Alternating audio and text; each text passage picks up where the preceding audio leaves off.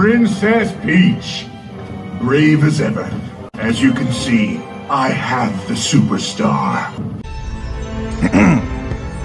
No, Princess. I stole this star for us. I guess love really makes a guy come out of his shell. I told you that line wouldn't work. You're doing great. Peaches, will you marry me? Marry you? I would never marry you. Emotional damage.